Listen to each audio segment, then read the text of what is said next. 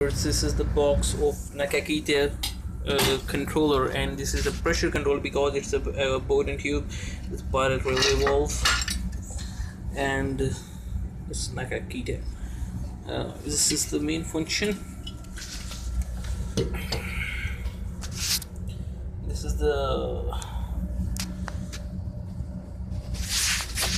set point needle which moves along with the uh, pilot.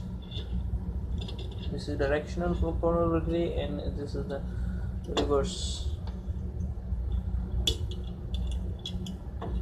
Uh, they have three pointers reset time proportional band and reverse.